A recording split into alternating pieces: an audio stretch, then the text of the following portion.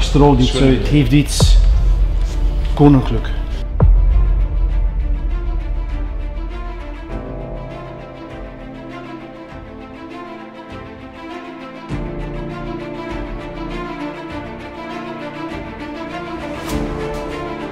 Ik vind ze toch wel geslaagd en ik ben eh, heel blij met eh, het nieuwe kleur dat we erbij gecreëerd hebben. Schoon hè? Het zit in een drive, een dynamiek en dat stimuleert ook voor ons en voor iedereen om het iedere dag nog beter te doen.